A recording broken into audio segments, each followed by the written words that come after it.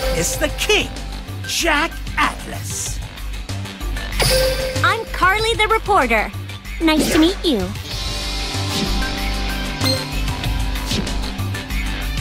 Yeah.